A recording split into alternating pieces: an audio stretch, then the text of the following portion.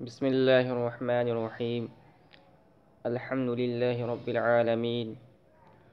والعاقبة للمتقين. والصلاة والسلام على سيد الأنبياء والمرسلين. أما بعد. عزیز طلبہ آج سے ہم شیخ سعدی رحمۃ اللہ علیہ کی مشہور گلستہ کا آغاز کریں گے۔ تو یہ کتاب جو آپ کے سامنے ہے، یہ اپنے فن کی بہت ہی مشہور اور معروف کتاب ہے۔ اور اللہ رب العزت نے اس کتاب کو بے پناہ مقبولیت دی ہے۔ یہی وجہ ہے کہ آج سینکڑوں سال گزرنے کے بعد بھی یہ کتاب داخل نصاب رہی ہے اور ہے اور اس کتاب کی ہر طرح سے خدمت کی گئی ہے۔ تو ہم آج سے اس کے درس کا آغاز کر رہے ہیں۔ اور جیسا کہ میں بارہا آپ سے کہتا ہوں کہ علماء نے لکھا ہے کہ جب بھی کسی کتاب کا آغاز کیا جائے تو سب سے پہلے اس کتاب کے بارے میں بنیادی معلومات کو جاننا چاہیے، جس کو ہم مقدمہ کہتے ہیں۔ تو مقدمہ کے اصل معنی آتے ہیں، یہ مقدمۃ الجیش سے ماخوذ ہے۔ اور پہلے زمانے کے اندر جب لڑائیاں ہوتی تھی، تو فوج جب جاتی تھی، تو فوج کے کئی ٹکڑے ہوتے تھے، کئی حصے ہوتے تھے۔ تو فوج کا جو اگلا حصہ ہوتا تھا، اس کو مقدمۃ الجیش کہا جاتا تھا۔ اس میں کچھ لوگوں کو آگے بھیج دیا جاتا تھا کہ وہ آگے جائیں اور راستے وغیرہ کا جائزہ لے لیں۔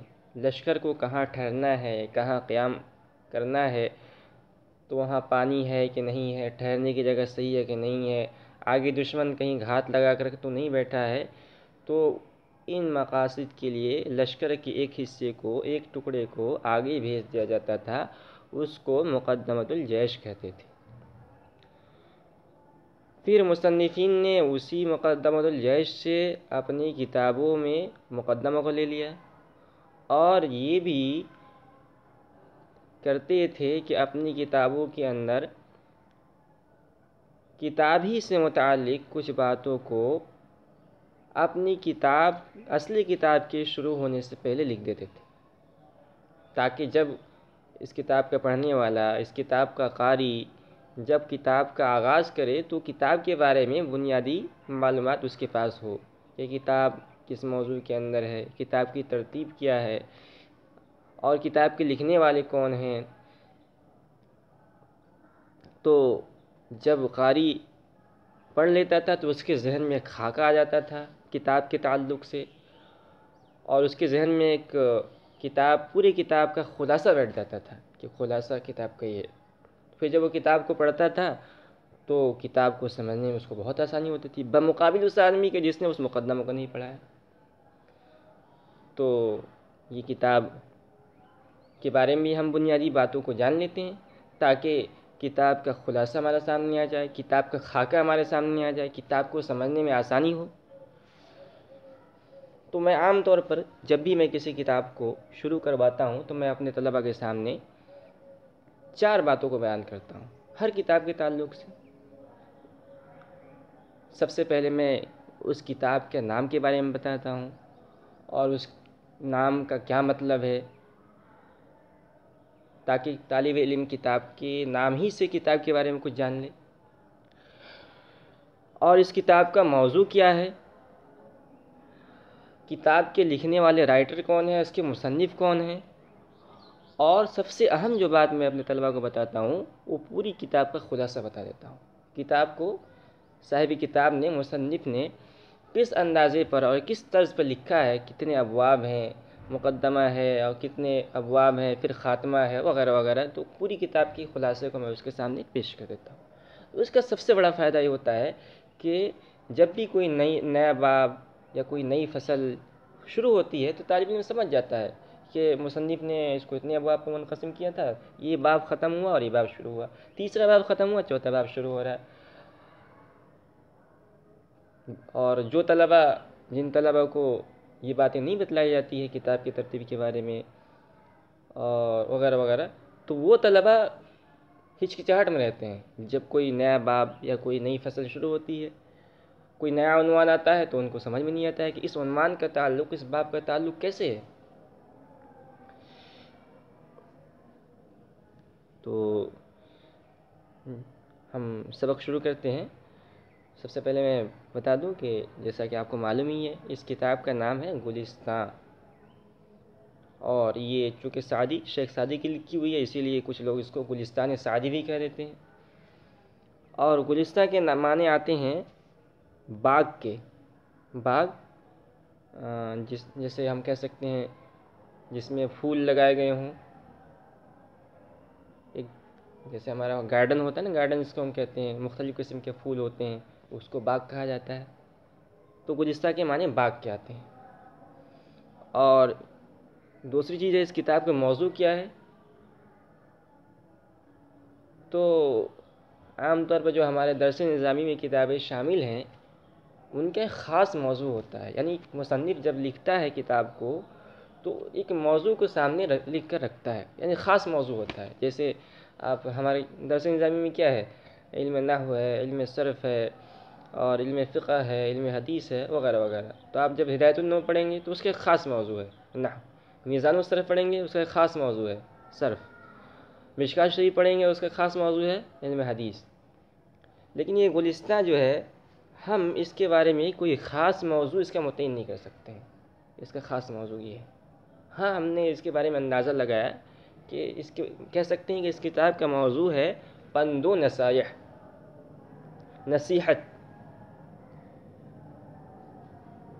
تو اس کتاب میں نصیحت آمیز حکایتوں کو، حکایتیں اس کے اندر قصے ہی زیادہ تر بیان کیے گئے ہیں۔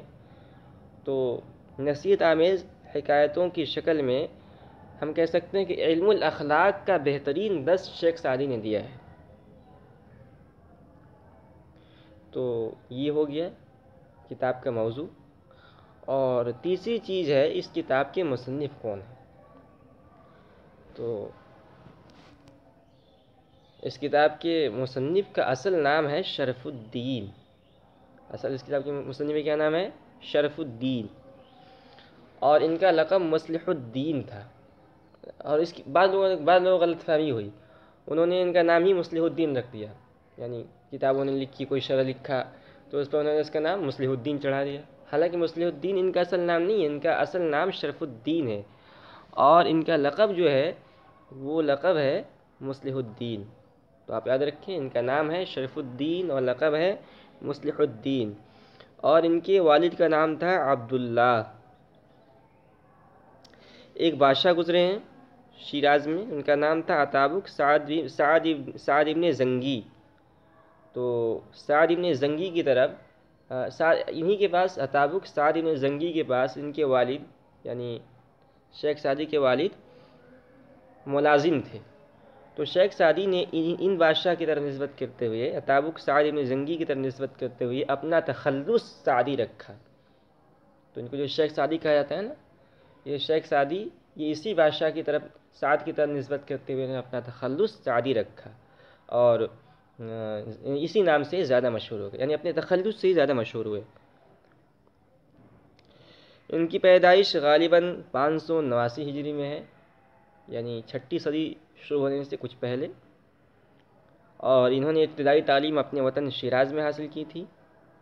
اس کے بعد اپنے علم کے پیاس کو بجھانے کے لیے انہوں نے اس زمانے کے مشہور مدرسہ مدرسہ نظامیہ کا قصد کیا۔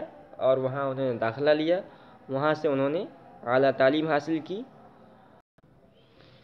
اس کے بعد ان کی زندگی کا ایک طویل اور لمبا عرصہ سیاحت میں گزارا انہوں نے اور دنیا کے مختلف ممالک کا سفر کیا انہوں نے۔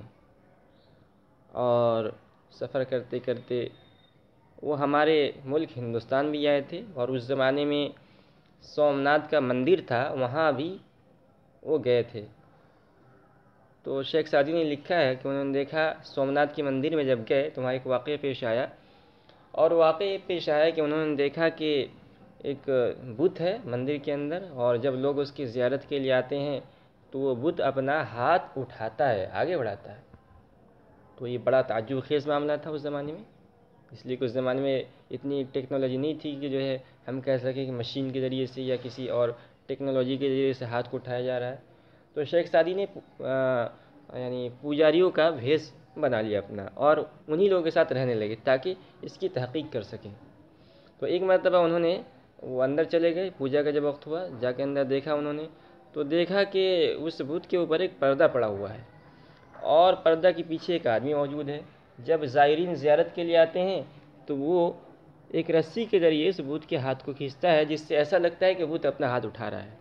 تو شیخ سعدی نے جب یہ دیکھا تو اس آدمی کو دوڑایا اور دوڑا کر اس کو کنواں میں ڈھکیل دیا اور ڈھکیل کر اس کو مار دیا اور پھر وہاں سے بھاگ گئے۔ تو یہ ان کی زندگی کا ایک واقعہ تھا۔ اور سن چھ سو نبے ہجری میں ان کی وفات ہوئی اور ایک مقام جس کا نام دلکشا ہے، وہاں وہ مدفون ہوئے۔ شیخ سعدی بہت بڑے شاعر اور مصنف ہیں۔ اور بے سنا، ان کی تصنیفات بے شمار ہیں، لیکن اللہ رب العزت نے ان کی تصنیفات میں دو کتابوں کو خاص شرف بخشا ہے، جو بہت مشہور ہوئی، ایک تو یہی، گلستان، اور دوسری کتاب جس کا نام ہے بوستان۔ یہ دونوں داخلی نصاب ہے پڑھائی جاتی ہے نصاب کے اندر۔ اور ایک پتلی سی کتاب ہے، مناجات، اس کا نام کریمہ ہے، وہ بھی انہی کی لکھی ہوئی ہے۔ تو اللہ رب العزت نے ان کو بے پناہ مقبولیت دی ہے اور یہ صدیوں گزرنے کے بعد بھی آج ہمارے درمیان یہ زندہ ہیں اور ان کے نام کو ادب سے لیا جاتا ہے، ان کی کتابیں پڑھی جاتی ہے پڑھائی جاتی ہے ان کے اشعار لوگ گنگناتے ہیں۔ تو یہ صاحب کتاب کے بارے میں مصنف کے بارے میں مختصر معلومات تھی۔ چوتھی چیز ہے کتاب کی ترتیب۔ تو کتاب کی ترتیب یہ ہے کہ انہوں نے ہم سے کتاب کا آغاز کیا ہے۔ جیسا کہ حدیث کے اندر آیا ہے، کلو امر ذیب لم ابتب حمد اللہ فو اختہ و ابتر، کہ کوئی بھی عظیم الشان کام اگر اللہ تعالیٰ کے نام کے ساتھ شروع نہ کیا جائے، اللہ تعالیٰ کی تعریف سے شروع نہ کیا جائے، تو وہ بے برکت ہوتا ہے۔ اس لیے انہوں نے اس کے کتاب کا آغاز اللہ تعالیٰ کے حمد سے کیا ہے۔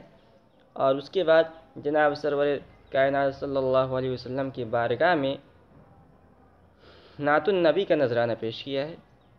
اس کے بعد اپنے زمانے کے مختلف بادشاہوں کی مدح سرائی کی ہے۔ جیسا کہ اس زمانے میں عام طور پہ جو شاعر ہوتے تھے، وہ بادشاہ کی تعریف کہا کرتے تھے۔ بادشاہ کی مدح کیا کرتے تھے۔ تو اس کتاب میں بھی انہوں نے مختلف بادشاہوں کی مدح سرائی کی ہے، جیسے سعد بن نبی بکر وغیرہ۔ اور اس کے بعد انہوں نے اپنے کتاب کی ترتیب بتائی ہے کہ کتاب کو ہم نے کس انداز پہ مرتب کیا ہے۔ چنانچہ انہوں نے بتایا کہ ہم نے اس کتاب کو آٹھ ابواب پر منقسم کیا ہے۔ باب اول در سیرت پادشاہ، باب دوم در اخلاق درویشاں باب سوم در فضیلت قناعت، باب چہارم در فوائد خاموشی، باب پنجم در عشق و جوانی، باب ششم در ضعف و پیری، باب ہفتم در تاثیر تربیت، باب ہشتم در آباد صحبت و حکمت۔ تو یہ آٹھ ابواب ہیں اور ان ابواب پر انہوں نے اس کتاب کو تقسیم کیا ہے۔ تو پوری کتاب کا خلاصہ ہے۔ تو یہاں یہ بات یاد رکھیں، بنیادی بات بتا دیتا ہوں۔ گلستہ بوستہ کے اندر فرق یہ ہے یعنی گلستہ بھی ان کی لکھی ہوئی ہے، بوستہ بھی ان کی لکھی ہوئی ہے۔ تو دونوں کتاب میں فرق کیا ہے؟ تو دونوں کتابوں میں بنیادی فرق یہ ہے کہ بوستہ یہ اشعار کے اشعار اشعار میں لکھی گئی ہے۔ یعنی منظوم کلام کے اندر، جس میں قافیہ کی رعایت کی گئی ہے، وزن کا رعایت کیا گیا ہے۔ اور یہ گلستہ جو ہے یہ بنیادی طور پر نثر کے اندر ہے۔ اس کے اندر وزن اور قافیہ کی رعایت نہیں کی گئی ہے، اشعار پر مرتب نہیں کیا گیا، اگرچہ درمیان درمیان میں اشعار ذکر کیا ہے، لیکن اصل اس، یہ نثر کے اندر ہے۔ تو یہ بنیادی فرق ہے گلستہ اور بوستہ کے اندر۔ تو بوستہ کو انہوں نے دس ابواب پر منقسم کیا ہے اور گلستہ کو انہوں نے آٹھ ابواب پر منقسم کیا ہے۔ تو یہ کتاب کے بارے میں کچھ بنیادی معلومات تھی، آپ اس کو یاد کر لیں۔ اور اگلے آئندہ کل سے انشاءاللہ ہم کس اصلی کتاب کو شروع کریں گے۔